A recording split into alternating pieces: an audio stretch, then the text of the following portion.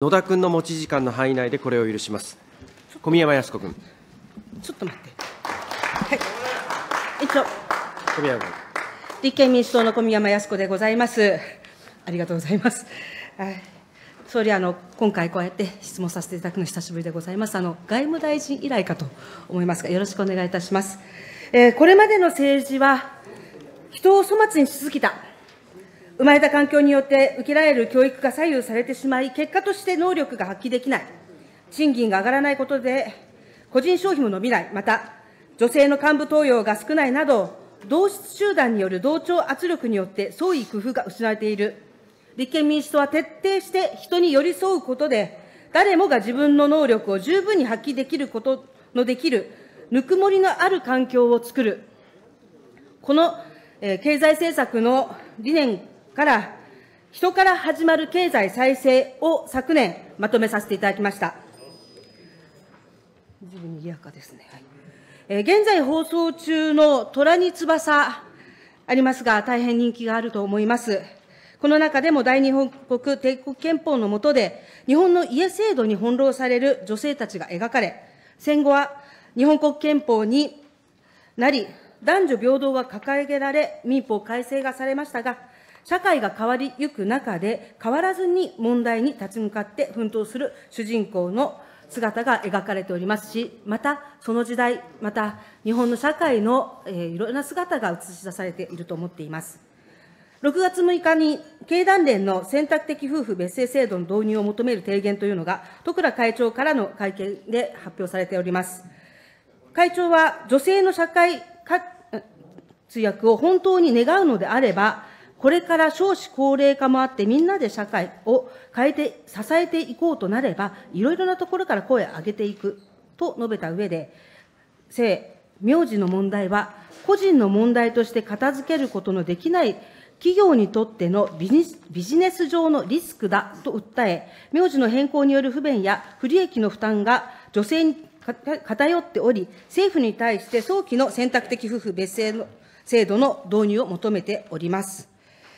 また、世界経済フォーラムも12月、6月12日に、男女格差の現状を146カ国、各国の統計とともに評価した、えーいわゆるジェンダーギャップ指数の2024年版を発表されました。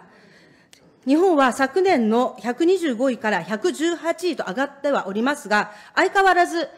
先進7カ国、G7 では最下位であります。女性管理職の少なさ、男女間の賃金格差、政治分野での女性議員の少なさ、政治参画の遅れなど、ジェンダー平等への日本の取り組みが他国に大きく遅れを取っていることが浮き彫りにされております。政府は選択的夫婦別姓を導入しようとしていないけれども、現在のような夫婦同姓を求めていることで、経済的損失、不利益が生じているということに対して、どのような認識をしているのか、総理お答えください。岸田内閣総理大臣。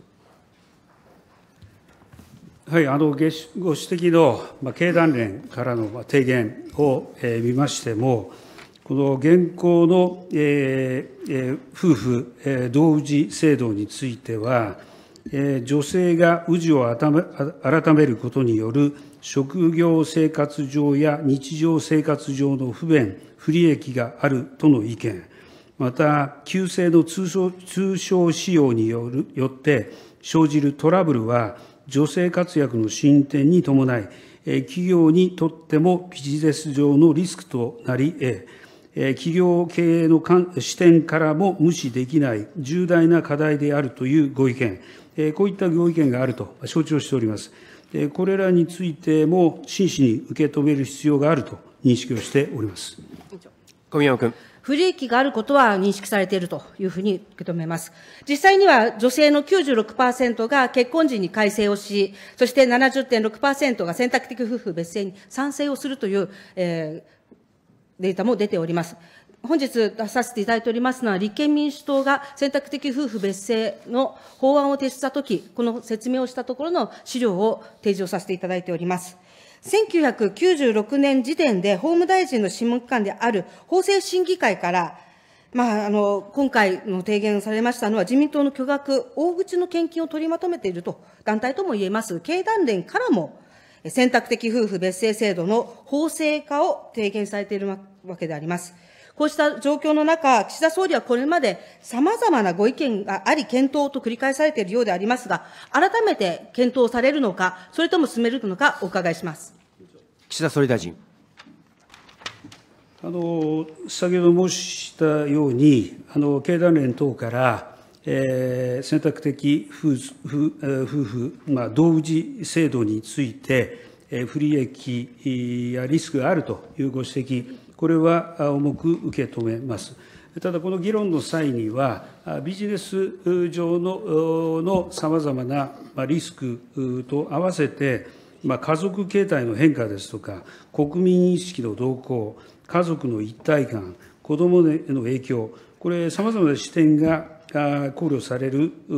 必要があると考えております。そして事実、この選択的夫婦別氏制度の導入については、この直近の令和3年の世論調査を見ても、国民の意見が分かれている、このことはたびたび紹介させていただいております。夫婦、同性維持が27%、夫婦同性維持プラス旧姓通称使用公正化が42.2%、夫婦別氏導入が28.9%、こうした世論調査の結果もあります。家族の在り方の根幹に関わる問題であり、ま、最高裁決定においても、国会で論じられ、判断されるべき事柄であるという指摘があります。そして、先ほど申し上げました、さまざまな観点から議論をしなければならない。国会において議論を進めていかなければならないと思いますし、建設的な議論をしていくことが重要であると認識をしてえーおります。委員長。小宮山君。検討ではなく議論ときましたね。はい。あの、今、こちらの方も、法制婚でできないこと、主な権利侵害、不利益の一覧というのを、こちらの方も、あの、立憲民主党の方のホームページで出させていただいておりますが、本当に様々な観点があります。今、国会でやはり議論するべきだということをおっしゃっていただきましたが、立憲民主党はすでに衆議院に、えー民法改正、この選択的夫婦別姓制度を実現するため、え民法改正案を提出しております。えーこれに賛同していただければ、すぐにでも成立、実現するわけであります。まあ、野党の提出法案だから審議しないなどと、悠長に先延ばしする案件ではもうございません。1996年からです。法務省においても、過去に2度ほど法制化ということで、え準備をされたはずです。えー国会提出は至らなかったんですが、様々なところ、政府においても、そして国会においても準備はもう整っています。議論があるからと言ったならば、なんで安全保障法制の時は、二分をすることでもう押し切ったんでしょうか。これは、これに関して、今回のこれは、選択ができるんです。ここが重要なんです。一人一人の意思というものを尊重ができるようになっています。であるならば、ぜひ総理大臣として、内閣総理大臣として早急に法務大臣へ法制化の準備に入るように指示するべきではないでしょうか。ご見解をお聞かせください。岸田総理大臣。あのまずあの、選択的夫婦別氏制度の導入については、これは社会全体における家族の在り方にも関わる問題であるから、幅広い国民の理解を得る必要がある、このように申し上げております。そして、先ほど申し世論調査の、紹介もさせていただきましたが、国民の間にさまざまな意見があることから、この議論が必要とされる。より幅広い国民の理解を得る必要がある、このように考えております。そして法案を提出する準備というまあごご指摘がありましたが、これ、国民各層の意見、国会における議論動向を注視しながら、総合的に検討しする必要がある、まあ法案提出ということになりますと、えーそうしたまあ検討が必要であると考えております。小宮山君。いつまで検討するんでしょうか。法制審議会から提出されて、今年で28年目です。本当、あの、これの問題、本当、あの、朝の連ドラ見てても、同様の名前が変わるということに対してのいろいろな意見、あの場でも書かれておりました。まだ変わらないんだなと。家制度のもとにおいて、帝国議会、帝国憲法の下で来た課長制度を引きずっている方々がいらっしゃるのは現実でしょう。そして伝統的な価値観を壊すものと反対している方々もいらっしゃるのはよくわかります。でも、現実に経団連からも指摘が受けてたように、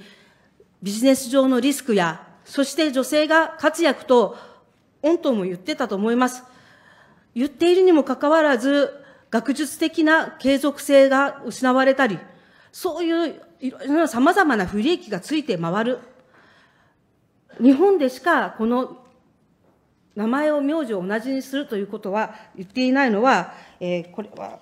あれですね。2018年、衆議院の法務会での、えー、上川陽子元法務大臣、法務委員会で、旧姓の通称使用では、氏の使い分けが必要、社会生活上の不利益がすべて解消されるとは言い難いと言いつつも、政府はこれまで旧姓の通称使用の拡大を進めてきて、そして今回の経団連の経済的リスクがあるということで、働く上のリスク、ビジネス上のリスクがあるというところにつながっていることを考えれば、待ったなしの状態だと思います。全員が同性にする必要はないわけですから、しっかり個人個人で考え、選択をする。当たり前かもしれないけど、それが選択的夫婦別姓制度じゃないですか。もし政府の方でできないならば、二分するいろいろな課題があるならば、先ほどがありますけれども、国会でしっかりと審議をする場を作るべきじゃないでしょうか。唯一の立法府にいる国会議員一人一人が家庭観や様々なことを合わせ真剣に考え結論を出すこととともに、各党とも党議拘束を設けずに採決を行うなど、各議員、国会の判断に委ねるというのも一向だと思います。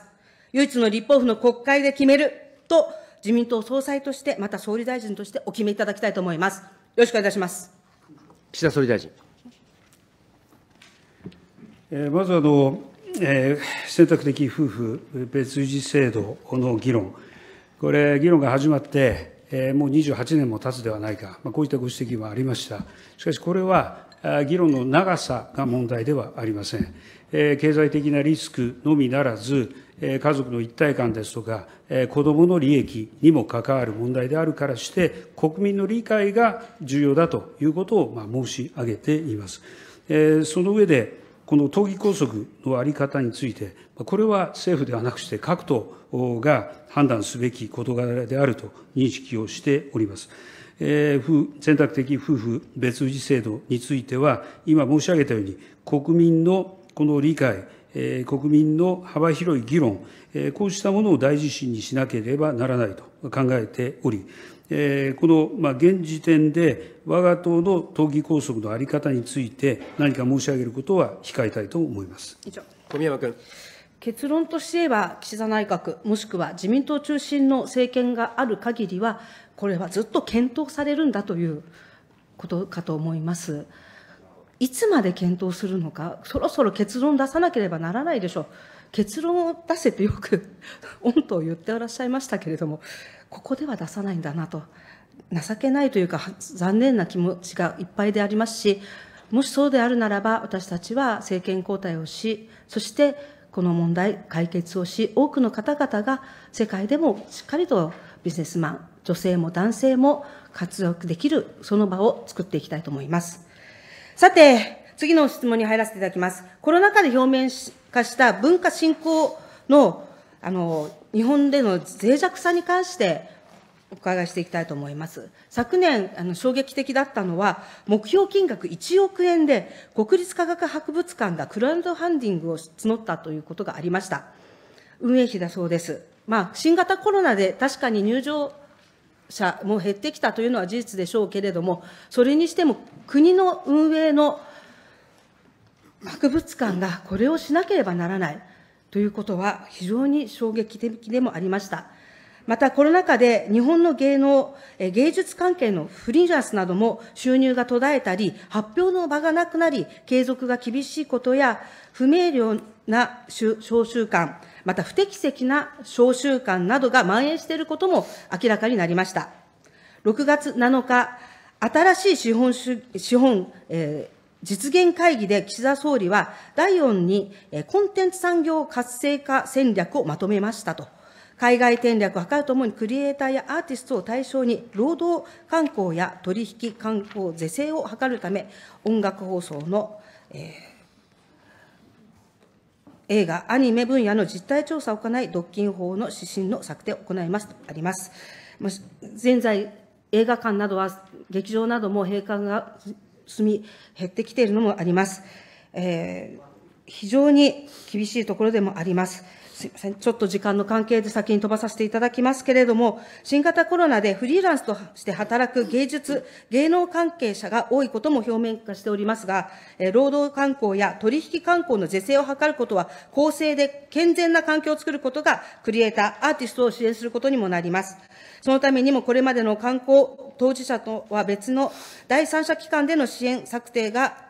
支援策策定が必要ではないかと考えております。公正取引委員会にお伺いします。公正取引委員会、片桐事務総局経済取引局取引部長。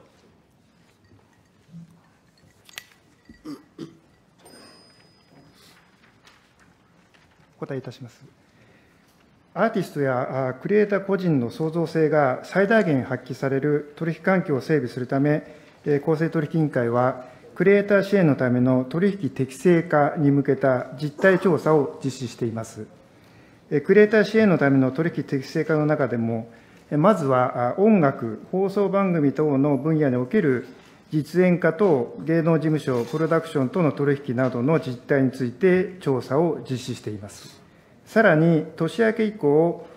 映画やアニメなどの制作現場におけるクリエイターの取引環境にかかる実態把握のための調査を実施する予定です。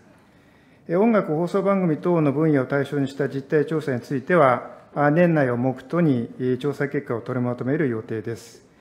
その調査結果を踏まえまして、クリエイター支援のための取引適正化に資する指針の策定に速やかに着手し、優越的地位の乱用防止等に関する独占禁止法上、および競争政策上の具体的な考え方を明確にすることで、クリエイターに関する取引慣行等の是正を図ってまいります。小宮山君。令和5年度の文科省の文化芸術予算は1000飛んで61億円でした。令和6年度は1062億円、1億円増えただけであります。日本の伝統文化も含めまして、この文化振興のための予算規模もは非常に諸外国としても少ないことがわかると思います。えー、これ、いかが考えますか？もっと増やすべきだと思いませんか？岸田内閣総理大臣。えーとですね、あの文化予算のデータについてお示しがありましたが、えっと、これは令和3年度でよろしいでしょうか。3年度の、まあ、予算につきましては、あの補正が905億円ありますので、えっと、あのそれがまあ含まれていないという点を一つ指摘した上で、そもそもその文化庁、文化予算というのは、国によって、このその分類ですとか、この範囲の捉え方、これが変わっているということでありまして、日本の場合は文化庁のほかにも、このクールジャパンとかコンテンツ産業支援は経産省、それから国際文化交流やジャパンハウスの運営等は外務省、そして放送コンテンツの海外展開支援は総務省、そして歴史文化を生かしたまちづくり、これは国交省と、この文化関係のこの施策が、えー、この分散している、こういった点もこの考慮しなければならないと思います。しかし、いずれにせよ、文化庁を中心に文化芸術する一国の実現を目指して、我が国としても文化芸術の振興に取り組んでまいりたいと考えています。小宮山君。ジャパンハウスや500億規模であります。そういう意味においては、伝統文化や厳しいかと思います。実はあの国立あ公益社団法人日本芸術、えー、実演化協実演化団体協議会から国立劇場の長引く閉鎖は日本文化の創造継承に大きな影響があり、今、舞台芸術の危機が進行しているとの提言がありました。これにつきまして、国立劇場の早期の再開をするべきだと考えますが、大臣いかがですか？森山文部科学大臣、時間経過してますので、関係えー、国立劇場について、昭和41年にまあ建設された施設が老朽化しております。えー PFI でこれまで2度の不えー入札を行いましたが、不調に終わりました。えーそういう状況を受けまして、現在、えー国立劇場の設置者であります、独立行政法人日本芸術文化振興会とともに、PFI 事業の内容等をはじめとする再整備計画の見直しを進めております。また、その間、国立劇場の平常が伝統文化、伝統芸能活動に与える影響等を考慮し、実演家等のその伝承者を要求する研修、その他につきましても、他の施設において事業を継続しております。いずれにせよ、一刻も早く国立劇場の再整備に関しまして、え次の計画をお示しできるよう、引き続き国が責任を持ってしっかり取り組んでまいります。小宮山君。大変質問ができなかったんですけれども、マイナ保険証については今、ぜひ延長する、併用できるようにすることを、私たち立憲民主党はすでに法案も提出しております。それにのっとり、多くの方々に不安がないように、ミスリードがないように、よろしくお願いいたしまして、え質問を終わらせていただきます。ありがとうございました。これにて野田君、青柳君、伊坂君、谷田川君、小宮山君の質疑は終了いたしました。